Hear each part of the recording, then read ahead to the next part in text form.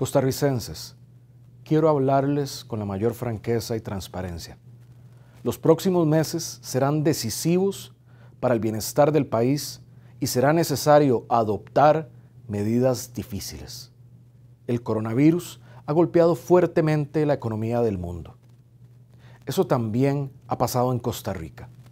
Nuestra economía, que se esperaba iba a crecer este año, decrecerá un 5% efecto del COVID-19, según el Banco Central. Tenemos más de medio millón de personas desempleadas y los ingresos que sostienen al Estado y sus servicios también se han caído. Al mismo tiempo, han incrementado gastos en salud, atención a la emergencia y en protección social para quienes han perdido sus empleos.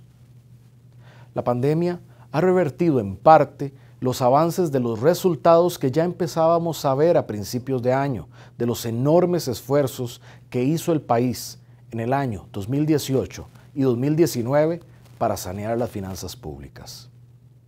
Tenemos margen para evitar una crisis, pero debemos actuar y actuar rápidamente. Es por ello que, como hemos anunciado, entraremos en una negociación con un acuerdo con el Fondo Monetario Internacional.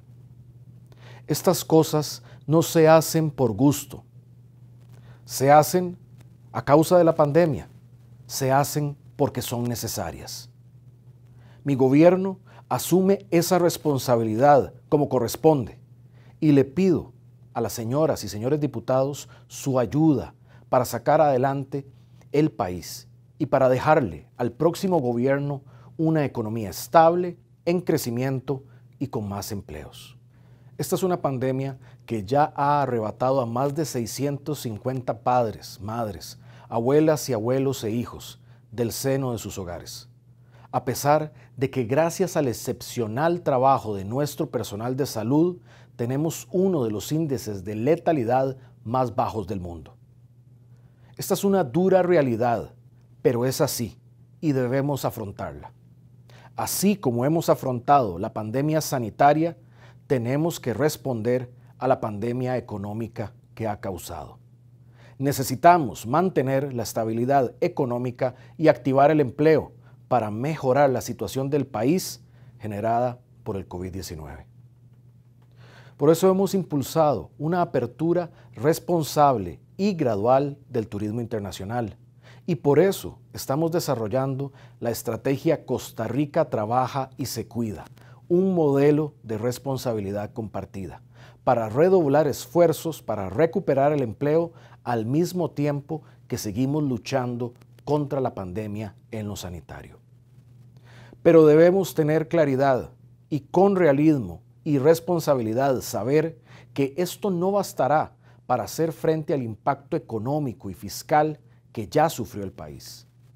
Debemos actuar para garantizar la estabilidad económica, pues de ella depende el bienestar de todas y de todos. Si no actuamos, el riesgo está en altas tasas de interés, en devaluación, en más desempleo privado y público y en pobreza, lo cual afectaría a todos y en particular a los más pobres.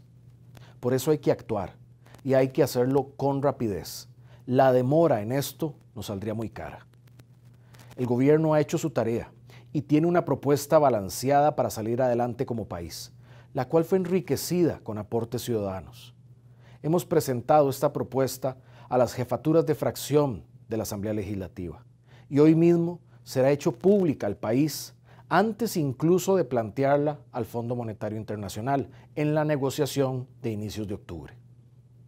Esa negociación tendrá cuatro objetivos esenciales mantener la estabilidad económica y la confianza en el país, mantener vigentes las instituciones vitales de nuestro Estado social de derecho, hacer más eficiente el Estado para que sirva mejor al pueblo y proteger a toda costa a las personas pobres y vulnerables, así como a la clase media.